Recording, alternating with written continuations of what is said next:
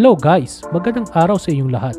Kung bago ka pa lang sa channel ko, mas mabuting mag-subscribe ka na para updated ka sa mga bago kong video. At huwag niyong kalimutan pindutin ang notification bell para ma-update ka sa mga bago kong video. Kaya simulan na natin!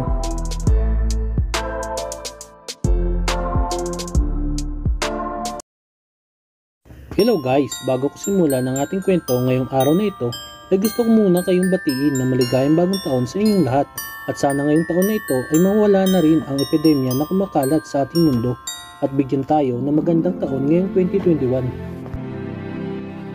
Ang nakikita nyo sa ating larawan ay ang tunay at kauna-unahang Santa Claus sa ating mundo ay si Saint Nicholas.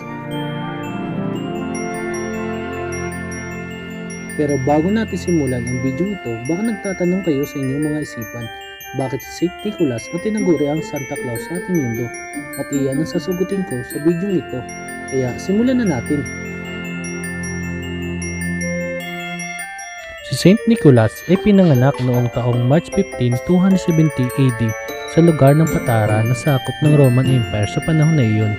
At may kita mo din ito sa mapa na ngayon ay sakop ng bansang Turkey at si St. Nicholas ay namatay sa edad na 73 noong December 6, 343 AD. Si St. Nicholas o mas kilala din sa tawag na Nicholas the Wonder Worker ay maraming mga ginawang kabutihan at himala sa ating mundo. At isa na nga dyan ay ang pagsagip niya sa tatlong batang babae na sa pilitang ibinibenta ng kanilang ama sa pagkakaalipin. At ang ginawa nga ni St. Nicholas ay binayaran ang kanilang ama ng isang sakong gintong barya na pera para sa tote upang sila'y pakasalan nito na lalong nagpakatanyag kay Saint Nicholas sa nagawang kabutihan sa tatlong batang babae.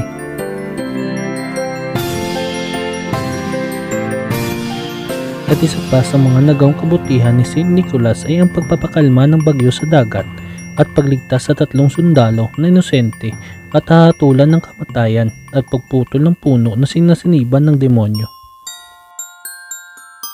Si Saint Nicholas din ay mahilig sa mga bata at tuwing sumasapit ang araw ng Pasko ay nagbibigay siya ng mga regalo sa mga bata, lalo na sa mga mahihirap na bata.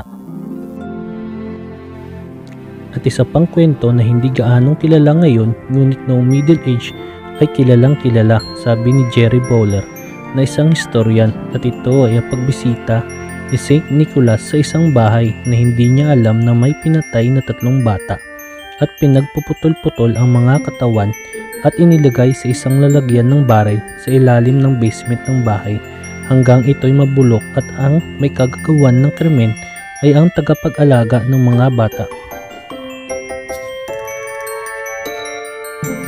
Ngunit nang nalaman ni St. Nicholas ang nangyari ay binuhay niya ang tatlong bata at iyon din ang dahilan kung bakit tinatawag ng patron ng mga bata si St. Nicholas o Saint of Children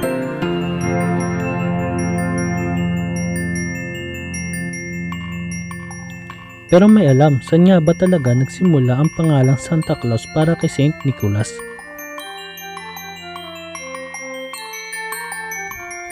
Ang pangalan Santa Claus talaga ay nagmula sa salitang Dutch na Sinterklaas, ngunit sumikat talaga ito sa bansang Amerika noong pagkatapos ng 18th century.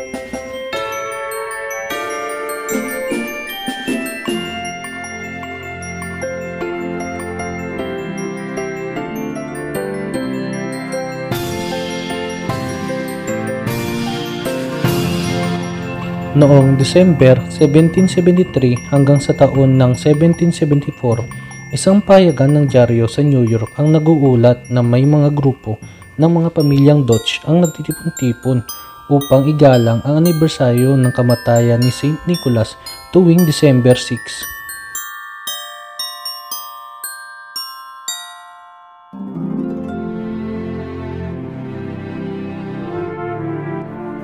At ang pangalan Santa Claus ay umunlad mula sa palayaw na Saint Nick Sinterklaas na pinaikling salita ng mga Dutch para kay Saint Nicholas.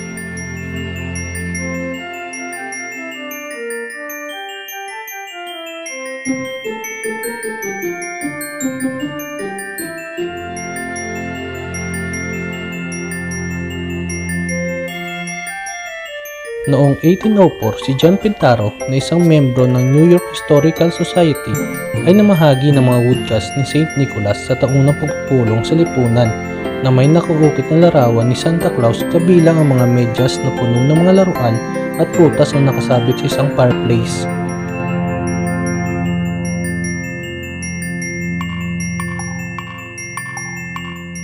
At noong 1809 si Washington Irving ay tumulong upang ipasikat ang mga kwento ni Santa Claus na ang tinutukoy niya ay si St. Nicholas bilang patron ng New York sa kanyang aklat na The History of New York. At lalong naging tanyag ang pangalan Santa Claus na inilalarawan ng lahat bilang may malasakit sa mga bata at namimigay ng mga regalo tuwing sumasapit ang araw ng Pasko.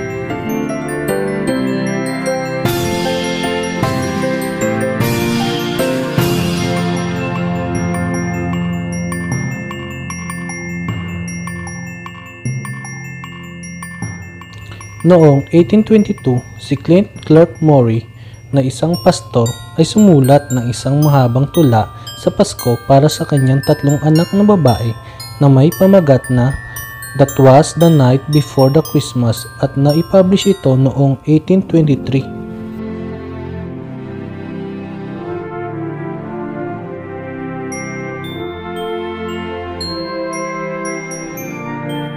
Ang tula na inisulat ni Clement Clark Murray ay nagbibigay kahulugan kay St. Nicholas na bumibisita tuwing sumasapit ang araw ng Pasko sa mga bababait na bata na inilarawan bilang si Santa Claus ni Clement Clark Murray na may supernatural na kakayahang umakyat sa isang chimney at lumilipad sakay ng walong ranger at nag-iikot-ikot sa bahay-bahay sa disperas ng Pasko at namimigay ng regalo sa mga karapat-dapat ng mga bata at naging tanyag sa Amerika bilang icon tuwing sumasapit ang araw ng Pasko.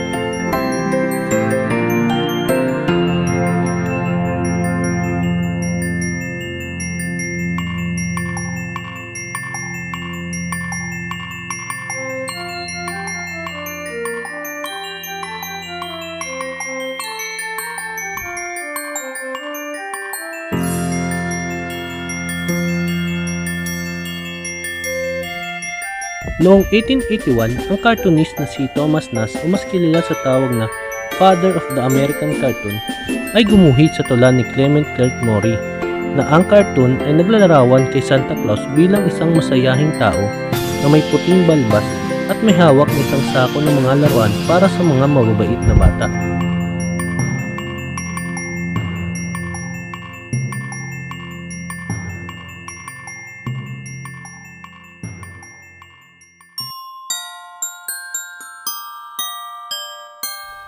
Si Thomas Nasdin ang nagbigay kay Santa Claus ng kanyang maliwanag na pulang damit at sa mga duwende na nagbabalot ng mga regalo sa North Pole at sa kanyang asawa na si Ginang Santa Claus.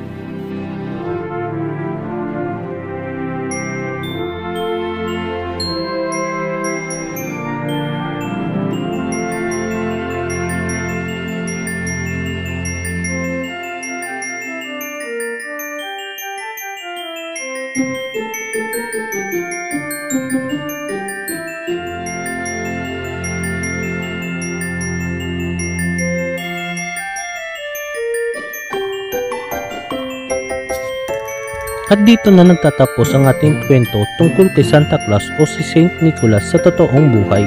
Sana ay nagustuhan nyo ang video ng aking ginawa.